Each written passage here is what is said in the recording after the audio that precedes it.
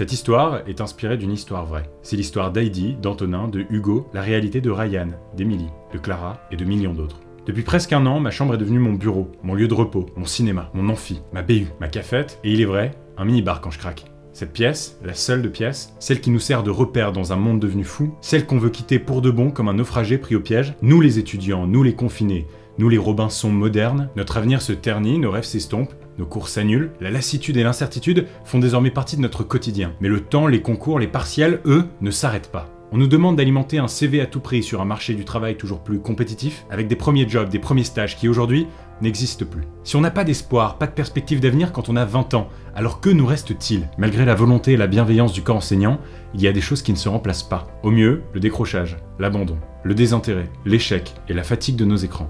Au pire, les suicides par centaines, les appels de détresse de dizaines de milliers d'autres, et en globalité, une chute sombre de notre santé mentale. L'isolement est réel. Le livreur de pizza devient un camarade, le papillon de nuit un vieux copain. À cette solitude s'ajoute pour beaucoup une précarité, un stress économique. Alors je peux tenir longtemps de faire semblant que tout va bien sur une musique au piano, mais à quoi sert de vivre si c'est pour laisser place à une génération de morts vivants? Le coût de cette maladie dépasse les couloirs d'hôpitaux et les cimetières. Il est humain. De l'éducation de nos enfants à la socialisation des ados, j'en viens presque à m'estimer chanceux. Chanceux d'avoir pu profiter de mes premières années universitaires. Même si cette pandémie m'a volé la fin de mes études, mon Erasmus des rencontres mortes dans l'œuf, j'ai pu rencontrer pour de vrai mes professeurs et mes camarades dans un temps qui semble désormais bien loin. Nous sommes français, européen. Être étudiant signifie donc pour beaucoup aussi la découverte de l'étranger. Habiter une autre ville, une autre culture. Vous avez eu la chance de le faire, alors pourquoi pas nous? Adieu Montréal, adieu Paris, adieu Londres, adieu Berlin. C'est dur d'avoir 20 ans en 2020. Formule du gouvernement qui navigue à vue d'œil depuis des mois, les médias et les politiques s'étonnent du désintérêt de notre génération lors des rendez-vous électoraux. Mais dans leur bouche, nous étions tous à cette rave party bretonne.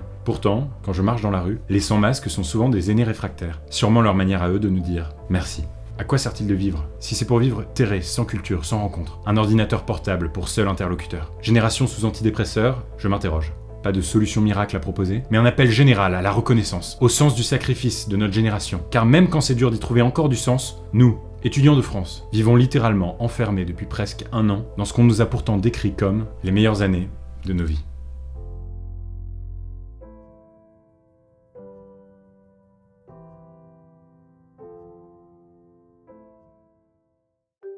Merci d'avoir regardé cette vidéo. Pour ceux qui me connaissent pas, je m'appelle Gaspard. Cette semaine, j'avais envie de faire une vidéo euh, un peu comme ça, un peu à cœur ouvert. Enfin là, le message était suffisamment important pour, euh, pour prendre le temps d'en parler. Aussi, pour mes chers abonnés, j'ai quatre petites annonces. La première, c'est que cette vidéo est aussi publiée sur mon Insta. Donc si vous souhaitez partager le message en story ou à un pote, privilégiez le IGTV, c'est quand même plus simple. La deuxième chose, c'est que le jour de publication de mes vidéos change. On garde ce rythme de une vidéo par semaine, mais désormais, il y aura une vidéo chaque dimanche à 16h. Le matin, vous vous réveillez avec euh, McFly Carlito ou que sais-je.